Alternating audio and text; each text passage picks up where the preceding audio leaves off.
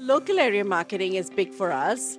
Uh, and in order to be able to do that successfully, what we have done is we've employed a BDM. And our BDM does contact our existing customers, grows our existing customer base, and also new customers that come to us through our web leads. And we are able to then onboard them in a more uh, personal way, I guess, looking at their needs and growing them from their needs base because we're based in Sydney CBD, the businesses that we uh, cater for are predominantly IT. We've got a lot of marketing companies as well. So it's very, very uh, business focused. PACK & SEND head office has been really instrumental in growth for us. I don't think you can truly see that in a lot of franchising systems. So I find that this is not really truly a franchising system. It's, I think, a family partnership where everybody is looking to look after each other.